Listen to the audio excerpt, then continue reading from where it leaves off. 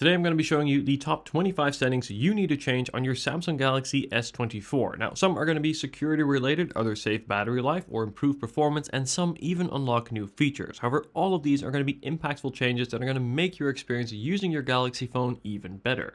So first I want to show you how to turn on battery protection as this is going to help extend your battery health. So to do this, we're going to jump into settings and then we're going to scroll all the way down here to where we find device care right there. And then we're going to tap onto battery and then in here, we're going to make sure that battery protection is turned on. From there, we can also tap onto this menu to then choose what kind of battery protection we want. And we have three here to choose from. We can choose from basic, adaptive, or maximum. Now personally, I suggest you stick to adaptive as basically what that's going to do is it's going to learn your charging habits and then charge your battery more slowly. So let's say in the evening, uh, if say you plug in your phone at 10 p.m., it's first going to charge from zero up to 80% and then wait with the remaining 20% till when you typically unplug your phone, let's say 6 or 7 a.m. the next morning. This means it's going to charge slower, produce less heat, and thus produce less wear uh, on your battery. So I think adaptive here is going to be the best of both as it still gives you the full battery capacity as opposed to having something like maximum where it won't won't charge beyond 80%, uh, or things like basic, where it's just going to help trickle the battery between 100 and 95%. So I think adaptive here gives you the best of both, where it gives you some battery protection uh, and minimizes the wear on the battery while still giving you full access to your battery's capacity. Did you know it is important to restart your phone every once in a while, as not doing so uh, can make your phone run slower than it should, and it can also make certain apps or settings or functions not run the way they should. So, of course, restarting your phone is going to be a little bit uh, inconvenient, right? You never want to restart your phone. However, there is actually a setting that's going to automatically restart your phone every once in a while, or basically when needed. So let me show you how to set this up. First of all, in settings, we're going to go back to the same device care menu where we were before, and then we are going to scroll down here to where we find auto optimization tap onto that, and then we're going to turn on auto restart. So we'll tap onto this menu here, and then we can choose to either restart when needed or on a fixed schedule. Now, I think a schedule is a little bit overkill, so I think restarting when needed is great. Uh, what's also great is it does is typically uh, at night when your phone is charging, or basically when you're not using your phone to not disrupt you. Basically, if your phone ever needs to restart, it's going to do it on its own. You don't have to think about it yourself, and it's always going to ensure that your Galaxy is running as fast and as optimized as it should.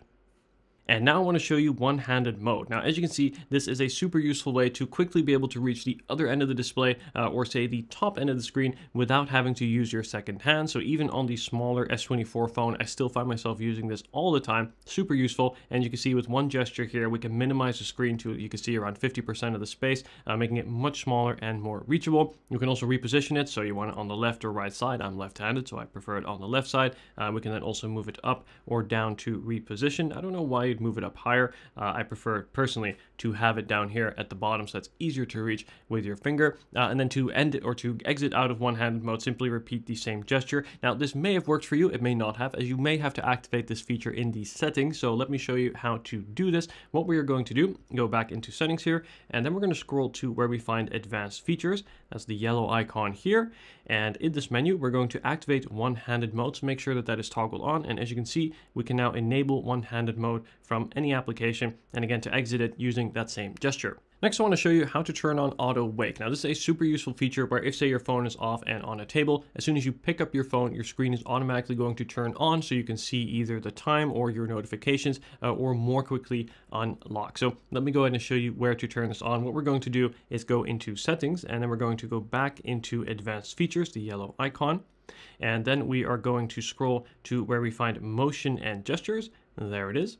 And then here you want to turn on lift to wake. Now again, if your screen is off, what you can do is simply lift the phone. It's going to detect that it's been lifted. You can see it automatically turns on to quickly unlock or to preview your screen. Now one thing I will say, uh, if you are very serious about saving battery on your phone, this is something that I would recommend you turn off as it will take a little bit of battery, not too much, but a little bit. Uh, so that is something to bear in mind. Personally though, I think it's worth it because I really like having this feature on. And while we're here in the motion and gestures uh, setting here, one extra bonus setting that I suggest you turn on, both of them rather, is to double tap to turn on or off your screen. So let's say your phone is on the table, you want to just quickly double tap and then double tap again to turn off. Again, a small but useful feature uh, that I really like to have on, on my Galaxy. So really, I suggest turning on all three of these settings in this menu.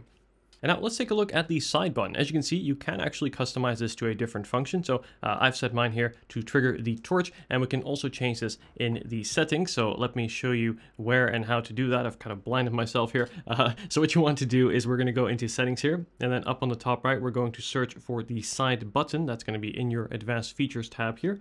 There we go. Then here we have the option to turn on whether we want a double press to do anything. So uh, by default, I believe that's going to launch the camera. We can also then tap here on this little settings button here to change this to basically launch uh, any application or even other system functions that you may want. So personally, I have set that to the torch. And then we also have the option here to choose what a press and hold is going to do to, for example, show up your power menu uh, to quickly turn off your phone. Uh, or if you use Bixby, you can of course trigger Bixby this way as well. And I want to take a look at split screen multitasking on your Galaxy S24. This is one of my favorite features uh, of Galaxy phones. I think they do this really, really well, and I use this all the time. As you can see, this sometimes can work really well with your standard applications. However, it doesn't always work for all third-party apps, as some applications will not be supported. However, there is a setting to enable which will allow you to run all applications in split screen and multitasking mode. So to activate this, we're going to go back into settings and then we're going to scroll down to where we find advanced features. Then we're going to tap onto labs. And then in here, we can turn on multi-window for all apps. And this is going to require, or rather allow all applications, including third-party uh, games, for example, or any app that you've downloaded to run in that split screen mode. Now, while we're here uh, in split screen, I want to show you a couple of cool tips and tricks as well. So uh, first of all, what you can do is tap this little three dot menu in the center and then tap on the two arrows to quickly uh, swap or rotate your applications if you want to swap them around. You can also tap and hold on that three dot menu to move or rather rearrange the screen space. So if I want to give more screen space to my Chrome window uh, and less to YouTube here, I can do that and vice versa. Now, let's say there's a set of applications that you frequently use in this split screen mode and you want to save that that? Well, there is actually an ability to save an app pair to your home screen. So what you can do is tap on this three dot menu, then we're going to tap on the little star here, and then we can do add pair, add pair, app pair rather, uh, to the home screen. So if we go ahead and tap that, then we're going to swipe home here. As you can see, we now have a new icon on the home screen that's going to basically combine YouTube and Chrome. And every time I tap on that, it's then going to open up a split screen instance of both applications. Super useful. Speaking of super useful, uh, let's say you're filling out an online form or say you are booking a flight uh, and you need to close the application, pull up a different application to pull up some detail, then you go back to your Chrome window uh, and you found that in the background this has refreshed and now you've lost all of your progress and you need to enter all those text fields again. This has happened to me several times. I'm sure it's happened to you too, but there is a way to avoid this from happening and that is to keep an app always open. You can actually pin an application to make sure it doesn't refresh. So to do this, we're going to have the application open, then open up the app switcher like so. Then we'll tap on the application icon here, and then we can tap on to keep open. Now this application is never going to refresh, no matter what I'm doing on my phone. As you can see, it's signified here by this little lock that we have on the screen. Uh, but if I'm say closing this app, I'm going to go into another application uh, and then go into another again. But as you can see, this application is always going to stay open exactly where it is to make sure that you don't lose the progress on that specific page. Now to exit exit out of this mode here, what you can do is tap on the lock and now the app will be able to close uh, or refresh if it needs to. But again, particularly for online forms, this here is super handy.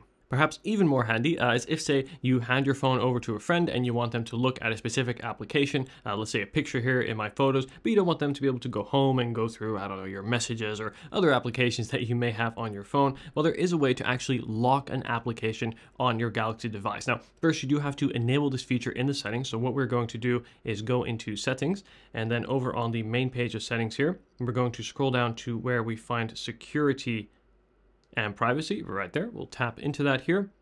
And then we're going to scroll down here to where we find more security settings. And then in here, we're going to go all the way to the bottom and turn on pin app. You want to make sure that that feature is turned on and this will then give us the ability to lock any application. So uh, let's say the Photos app here where we were previously, there we go. And uh, let's say I want to hand someone my phone and I don't want them to be able to exit this app. Just look at this app only. You want to open up the app switcher, tap on the app icon in the top of the application, and then we're going to tap on to pin this app. And as you can see, the app is now pinned, so I can uh, use this application like normal. However, I can't swipe home, I can't look at my system toggles, I can't even see my notifications. So really useful to know that if you hand off your phone, uh, the rest of your content or data or whatever you have uh, is safe. Now, to unpin an application, you want to swipe home and then hold up like so. As you can see, you will then be prompted to enter either uh, your PIN or use your fingerprint like so. And as you can see, the app is now unpinned and I can swipe home like normal.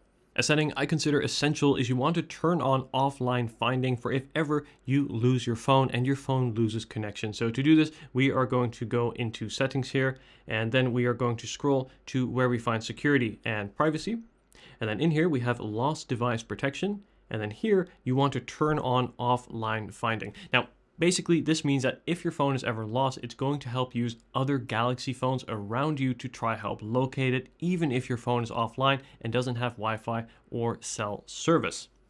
And to take this one step further, we can also tap into this offline finding menu and have the option to encrypt your offline location. And this is going to protect your location behind a pin to keep it private only to you. Next, I want to show you how to get more application space on your home screen, basically get the most out of the screen space here. What you want to do is do an outward pinch over on your home screen, and then here we're going to tap onto settings, and then in here, we can change the app screen grid as well as the folder grid and the home screen grid size. So you can see here, this is what the different sizes looks like. So you can see uh, I can have it be larger, which gives me a lot more applications room. Uh, I can have a five by six grid. Of course, I can also go four by five, uh, four by six. And as you can see, you have a lot to choose from here to really get the most out of your screen space if you like.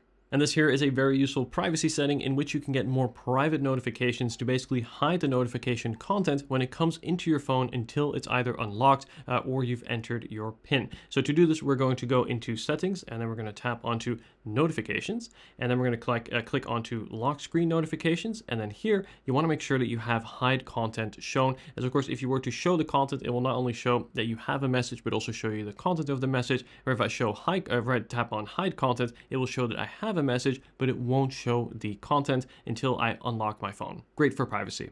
All right, now this next one is going to be a little bit controversial, and that is to change your navigation bar. Now, I know some people absolutely love those uh, Android back and, and home buttons, but I can guarantee you that swiping over to the navigation bar, or rather changing to the navigation bar, is going to be the better way to do this. And check this out. One of my favorite features of doing so is you have the ability to quickly switch between your open applications. I also like that it doesn't take up any screen space, right? It's just a subtle bar here at the bottom. So I really encourage you uh, to change this to the navigation bar. And to do this, we're going to go into settings, then tap on display, and then we're going to scroll to where we find navigation bar.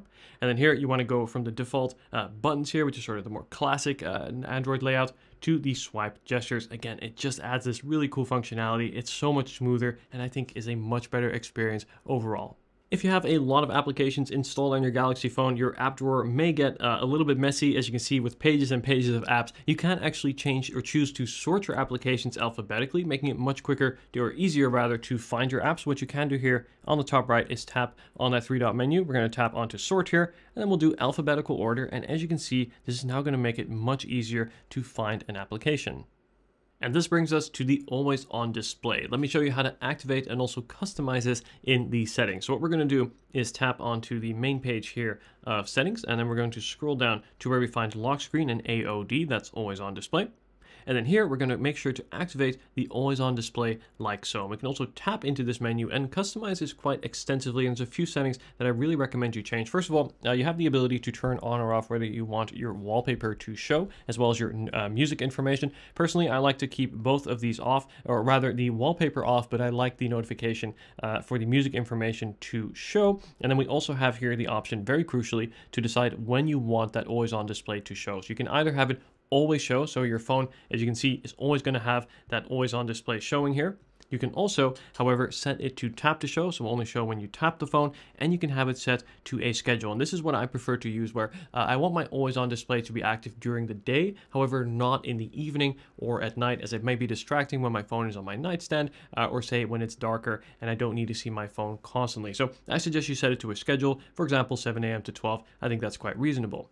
Now I want to show you how to improve the sound quality on your Galaxy S24. So in settings, we are going to scroll down to where we find sounds and vibration. And then if we scroll down all the way to the bottom, we have sound quality and effects, and you wanna make sure that Dolby Atmos is turned on. Now, Dolby Atmos basically improves the sound quality that you're gonna get out of your phone, particularly when you're using headphones or speakers. Uh, it's just a broader frequency, and it's also tuned differently uh, to really get you more detail out of your sound. So I definitely recommend you turn on Dolby Atmos. I don't really understand why it's not on by default. I think it should be. Uh, and then beneath that, we also have the option here, if you want to create a custom EQ, you can even choose from some profiles if say you want all of your sounds, uh, all of your songs rather, to have a slight bass boost to them, uh, you can turn that on as well, and you can keep it on balance, which is the default. And now let's talk about optimizing the system toggles. That's this menu up here, a menu you probably use all the time, many, many times per day. So it is worth optimizing it uh, and getting it exactly the way you want. So to customize this, we're going to swipe down and then uh, swipe down once more. And then we're going to tap on this little pencil icon. And then from here, we have the option either uh, to switch between editing the full layout or just the top row. Now, of course, the top row here is going to be the most important, so let's start there. So uh, to remove a toggle, you simply want to tap on the little minus button here, and then here we have all the available buttons, uh, rather, that we can choose from. You can see it's got a couple pages here to cycle through. So uh, let me see, the ones I like to have are definitely the connectivity ones. The torch is also useful. Uh, another one I really like is power sharing. That enables you to uh, charge, for example, your AirPods or Galaxy Buds with your Galaxy device. That's one I really like. And you can also tap and hold here to rearrange uh, if I like and bring them uh, closer to uh, that I want as well. But of course, these top six here are going to be most easily accessible. So uh, keep the ones that you like most in the top row. And then we can also customize the full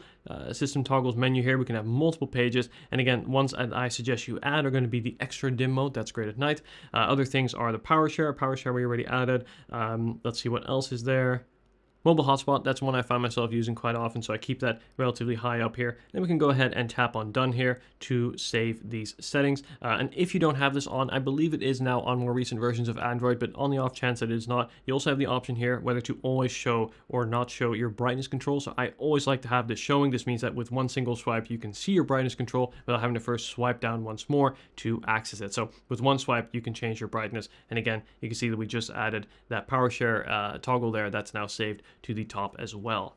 And now we're back to an important security setting, and that is called invisible password. So this basically makes it so that you don't briefly see your password when typing it. You know how every character you type, you'll briefly see it? That's a feature that I prefer to turn off. That way anyone, say, looking over your shoulder uh, can't see what it is you are typing. So to do this, we are going to go into settings, and then we're going to go into security and privacy. And then in here, we're going to scroll down once again to where we find more security settings. And here you want to turn off make passwords visible. So again, these passwords are now going to be invisible whenever you're typing them. It won't show you the characters.